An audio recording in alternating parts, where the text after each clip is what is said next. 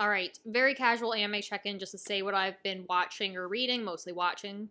Uh, so starting with the Jujutsu Kaisen movie, just because it was no secret that I really disliked the series. Not that I even disliked it, dislike it. It was it was fine. It was average. It did nothing to hook me. It set up a few little interesting premises, but season one did nothing to get me invested in the main cast of characters and because I wasn't invested in the main cast of characters, I wasn't invested in their interpersonal dynamic because I felt they didn't have any.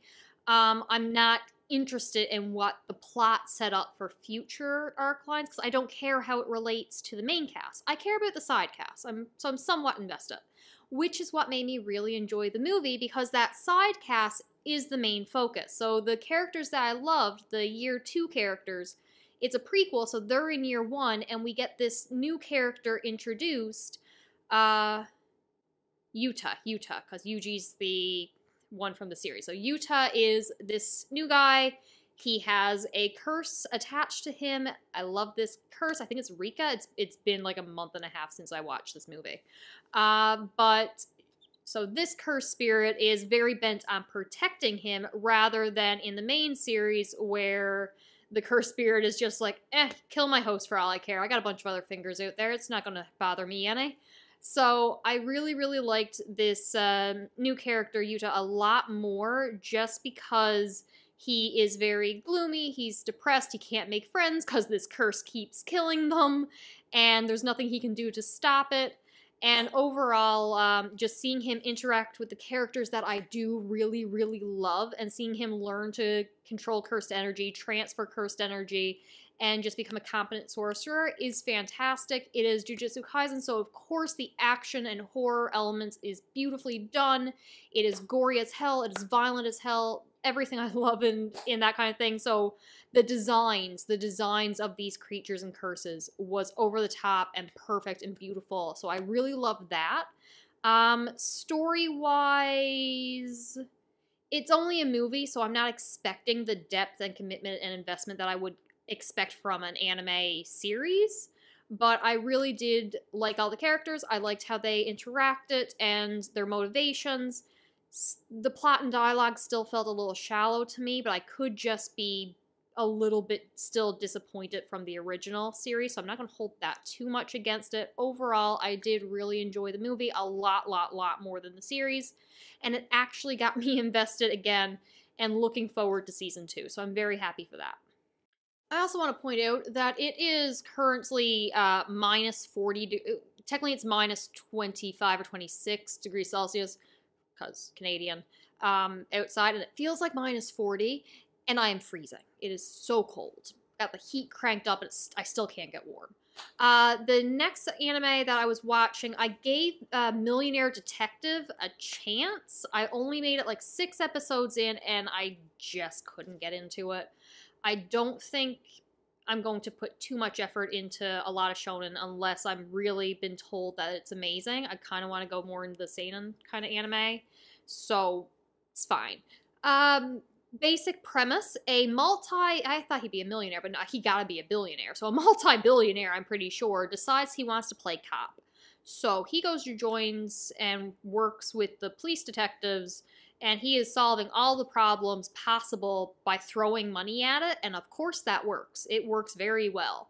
Uh, when you can literally just say here is a bunch of money tell me or do this for me or let me buy that from you then it's going to make solving cases pretty easy but the reason I couldn't really get into this uh, series is it kind of wants to be a buddy cop comedy, but it's not going as far as it could with the comedy because it also kind of wants to be a drama.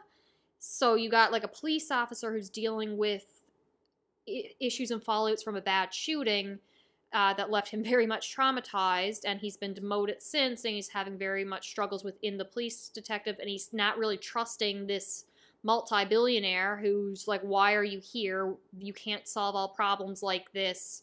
Yada yada. I don't trust you. What's your motivation? So they got some they're never really friends and bonding at least in these first six episodes that I've seen. Even though at one point they're like living together even then it's just like I barely feel like it almost feels like your next door neighbor got locked out of his apartment and they're just staying at your place for a night until a locksmith comes and change the door. That's not what happens, but it feels like that's the connection that they have. It's like I trust you not to murder me in my sleep, so yeah, you can crash here for the night. Um on top of that, a part of the issue is in order to get some stakes and drama, you got to get rid of all the technology that this billionaire has access to that okay, so we just to get stakes, we need to remove the premise of this show. And again, nothing hooks me. I didn't give it its fair shake, really didn't. I didn't even give it to the end of the first season, but I, I got other things I want to read and watch, so I'm just kind of dabbling in a few little things to see if anything hooks me right away. Uh, unless I'm told otherwise, unless I'm told it's fantastic and keep going. But uh, yeah, I've been also told the tone issues between not being able to find a good balance between com- buddy cop comedy and actual serious drama never really resolved itself, so I didn't feel the need to continue. But if you want basically Batman, if he wasn't Batman and was just Bruce Wayne joined the police detectives and using all his money to solve crime, then, I mean, might be a show for you. Um, I also picked up a manga that, uh, remember when I said I don't want to just read a manga online, I want to support the artist that was doing it? We're going to ignore that, that I said that, because I totally, totally found this via legal means to, to read. There is a, what's the female version of shonen? Shoujo? Something like that, uh, coming out. It's an anime called My Happy Marriage, and it's basically um, girl is mistreated by her family, gets for arranged marriages are very common, but she gets forced to go to this guy who's apparently very cruel or hostile and known for running away all his fiancés or engagements in like three days. But she's like, I have nowhere else to go. I have to make this work. The family has kicked me out. So I have to make this marriage work. And she lasts more than three days, and they supposedly will have a nice, happy marriage. There's also a little tweak of supernatural elements, which I was very happy for, as like some, there's like spiritual sight and can set things on fire and manipulations of mind. So there are supernatural powers involved, which excites me. So I read the first couple chapters just to see if it's a vibe that I want to give a chance for the anime. And I probably will give the anime a little bit more of a chance. It was cute. I love the art style. I really like the characters. But I can see that they're going to grate on me. Because the first, I assume, saga, I don't think it's popular enough that the Wiki page has broken it down into arcs and sagas. Um, it wrapped up nicely, but then it seems like we're going to go into the oh, I'm attracted to this person, but I'm so shy and let's confuse the fact that I'm ha- having a crush on this person with the fact that I'm sick. How's your health? Are you okay? You have a fever. It's like, oh, I'm fine. You're just very close to me. And I can see that very much grating on me. It's like, you're engaged. Stop it. Um, I don't think the shogo. Is that how it is that what it's pronounced as? Shoujo. Yeah. Uh, I don't think that genre might be for me. I might have to try the adult version, but um, yeah, it's worth worth a shot. I'm like I said, I'll give the anime a try. I just don't see it working for me in the long term. All right, so I picked up a One Piece movie, and to give it a try, I've been told I don't really need to re- uh, watch them in order. So I picked up movie was it six? Yeah, I think so because I was told that's like One Piece does horror. And at first, I was so confused because the art style that they chose to use for this movie was a choice. And I thought I was watching a fan made, low budget kind of thing at first. At first, I changed my mind. But this sketchy kind of art style was uh, the opening scenes, and I'm just like, what am I watching? What did they choose to do? And you could feel that something was just different at first. It's like quiet and moody. And I'm just like, what's going on? We see the water, and um, it opens with uh, them finding like a message in a bottle to this kind of was it like a spa island paradise kind of thing to relax vacation yeah and also side note the i was confused on or i want i was hesitant to watch this because i'm like i can watch this i'm far enough into the series right and I seen uh, Zoro was lifting weights on the ship, and they were these teeny tiny little weights. I'm like, oh yeah, we're good. He'd be lifting much heavier weights if um, it was not past what I've seen. Completely ignoring the fact it was the original character design, and that Brook and Franky were not even a member of the ship yet, or a member of the crew yet. So I'm like, I, I noticed Zoro lifting small weights before I recognize any old character designs or missing crew members. Continuing on, they go to this island, and again, it's just this weird sound atmosphere that you can tell something is slightly off. It is not the tone that I associate with One Piece. And again, I only read the manga really. I barely watch any of the anime, just jumping in for a couple moments and scenes. Uh, you feel that it's off. And then they go further into this forest because it's very quiet on the beach. And then then we're into the One Piece uh, more feeling. It's over the top as the everyone in the town comes out and welcomes them, and they're celebrating. And there's like a whole show and dance, and it's colorful and it's energetic. I'm like, yes, okay. I don't know what they were doing at the beginning, but now this is One Piece. The tone is back on, and this mayor leader of the people is just like if you want to stay here, you have to go through these challenges. We'll put you through hell for this. And every other member of the crew is just like, ah, no, we're we came here to relax, not do terrible competitions. Let's get out of here. But Luffy's just like, no, I'm excited. Let's do this. I trust you. I trust my crew. Let's let's do this. So he's all for it. And the first competition is like goldfish catching. So they have this teeny tiny little net and they see a pond with these teeny tiny goldfish. And they're they go to catch one only for like the giant, massive, demon looking goldfish in the background to jump out. It's like, actually, you got to catch that one. And the, this cute little competition turns into like a exciting fight. And eventually, they're also fighting against another guy who's trying to catch the same goldfish. And uh, I think Robin is the one who ends the competition, and they get the gold goldfish and all that. Uh, spoilers, by the way. One Piece, I'm going into a lot more detail than anything else that we're talking about here. Uh, so basically, we're setting up the premise that there's no rules for this. Any kind of rules they thought were set up can be uh, tossed aside. You're allowed to cheat in these competitions. And my favorite scene, and possibly the majority of One Piece, happens when Chopper falls over the side into the water. And obviously, Devil Fruit user, he can't swim, so he's sinking. And Luffy, in his fear and excitement and wanting to save his crewmate, immediately jumps over as well, grabs Chopper, and tries to swim up, only to remember that he is also a devil fruit user and cannot swim. So someone else has to jump in and save him.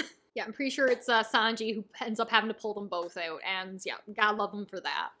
Uh, so the next competition happens, and they're on these boats, and it's essentially like some kind of ring toss. You're both on the boats, two teams, and they throw these hoops over them to, to capture the opposing team. And but you only need uh, four people for this challenge. So Nami and Usopp are in one team, and Zoro and Sanji are on the other, and they're going against the four from the other team. So that's all well and good, except the crew is bickering more often than not. Even Sanji and Zoro, they're at each other's throat a little bit more. And at one point, Usopp opens something in the boat and he finds some contraption which gets put on him and it sends him up into the air. He's flying around, and Nami thinks that she, that he's abandoned her. So they're very. They're more upset and at each other's throat and not working together. They still win the competition, but you can. It's like why are we being more hostile? You can feel like there's the other contestants are setting them up to be more hostile towards each other. Uh, during this time, uh, Luffy meets some other pirates who were on this island and are hiding from the. He's not the mayor, the baron of uh, this town and the order who's organizing the competition. And there's like he's not what he seems. And Robin is looking for this uh, flower that supposedly only grows on this island. She's asking questions about it, but no one's really giving her a straight answer. And Chopper meets uh, this family, former pirates, who have been trapped here all this time and they don't trust him and it's like you don't understand this is not a safe place and he, they show him this picture and it's uh, an original crew and they all look exactly the same as the pirates or not pirates the villagers and people here in the participating in the competition except for the Baron. He looks a lot younger, so he's the only one of this group who's aged. And before Chopper can go and tell the rest of the crew what he's found, he gets shot with an arrow and knocked unconscious. We are then like at a dinner festival presentation where Sanji has made himself turn into like a cooking competition. It was, I think, supposed to be a good meal for them, but he's like, nah, I can do this better. So he gets up and shows the chef up. And Nami is talking to one of these people. And she's asking him questions, and it's it's very dark. And there's these candles everywhere. And again, you can feel the tone shifting as they're talking. And eventually the person that she's talking to, he morphs and transforms, and it's like he's melting and wilting away. They also have these little leaves on their head, uh, but he's he's they're literally like decaying in front of her, and she's like, "What the hell?" Um, it it's a very sudden shift, and then they're like, "Where's the rest of our crew?" They realize that Robin's missing and Chopper Chopper's missing, and uh, they start blaming Luffy is like, what is wrong with you? How could you not uh, realize that our crew members are missing? How could they be taken out from under you? It's your fault for bringing us here. We wanted to leave. You wanted to take part in these competitions, and now we're missing them. This is your fault. And Luffy doesn't know what to say. And the next thing you know, the third competition has started, and it's a shooting competition where all the people of the island are going to be shooting at the Straw Hats and trying to kill them and they're like, just run, run. So they take off running, and Luffy just stays there in shock, like, what have I done? What have I brought my crew into? I think Nami is the last one to stay with him. She's like, we have to leave.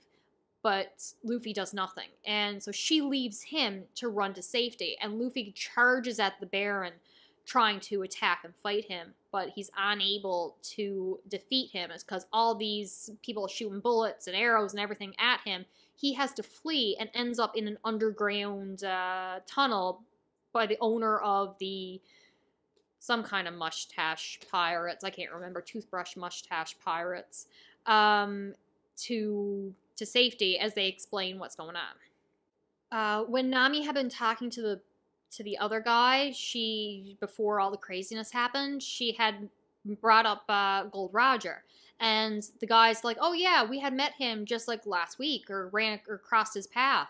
And she's like, "He had been executed 20 years ago. What are you talking about?" And he's like, "What?" And that that's when he kind of started to wilt. And we learn that the Baron has been feeding people to the flower that Robin has been looking for all this time uh, to more or less sustain the people of this island and his crew. And during the shootout, everyone gets captured, and Robin had already been captured previously when she found the flower or her, learned a shipwreck uh, while looking for the flower. Uh, and Luffy escapes, or not really escapes, cause but leaves the mustache pirate guy to go fight for his crew. And when he gets there, he is shot multiple times with arrows, pinning him to this big boulder. And again, this art style, it just feels so intentional, and it's it is eerie, it is painful, and you see his struggle. And this, I don't think it would have worked as well with the uh, regular One Piece art style. And you see all the crew members up in this type of weird flower thing slowly being dissolved and turned into this red light and being absorbed into uh, the flower.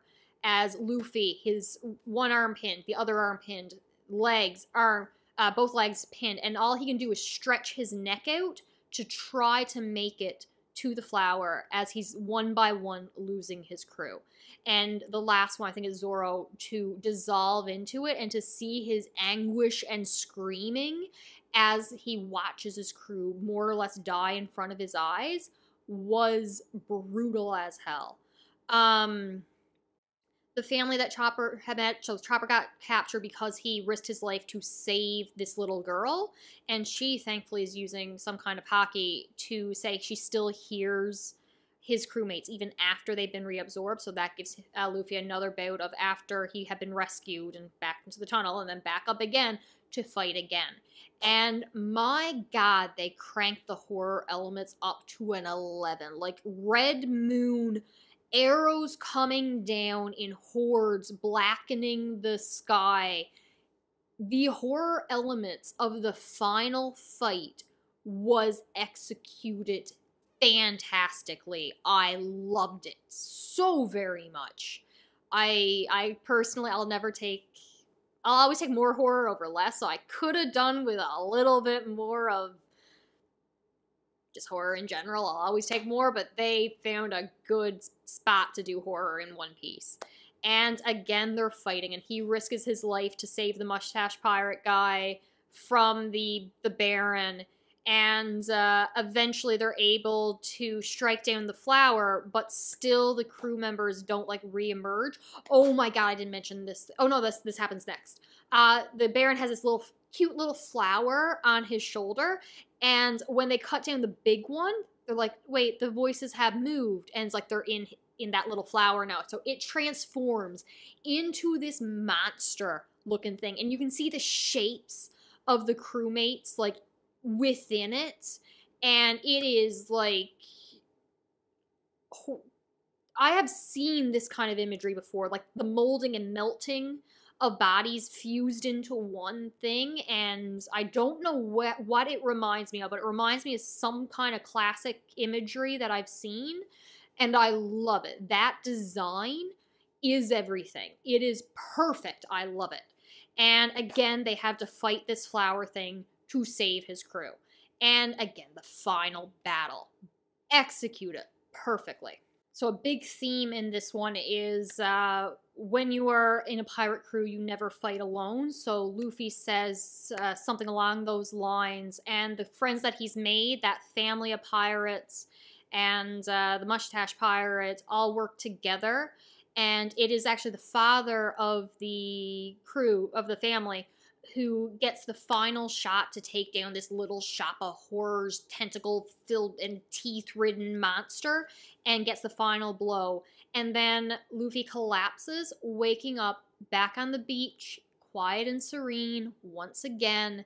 And his crewmates are just all around them. I'm not even sure if they remember really completely what had just happened and what transpired. And it was just such a good movie in general. The atmosphere the horror the themes the art design. I know i said i didn't really like it. I thought it was like some cheap budget art weird art house film. No i take it all back. You needed this art style for the tone for the atmosphere. It it works so well. I am so happy i watched this movie and i'm definitely going to check out some other one piece movies but highly highly highly recommend. It was excellent. Uh, yeah, there there was a whole thing with the Baron as well. I suppose I should say the end of his story is pretty obvious. He had uh, lost his crew during a uh, shipwreck incident, and everyone had died. So he made a deal with this flower to feed people and sustain like images and kind of things of the crew. And he kind of hears from the ghost of uh, his former crewmates to um, them saying, "We understand, but you should have moved on from us. We've already passed on to the afterlife." And it makes him like very sympathetic like you can imagine the heartache and loss and grief that you've gone through t- after losing your family and you would give anything to see them again sustain them uh, but as sympathetic as that is it does not stop luffy from punching him in the face for what he did to his crew so no uh, recommend this movie. All right i will talk to you later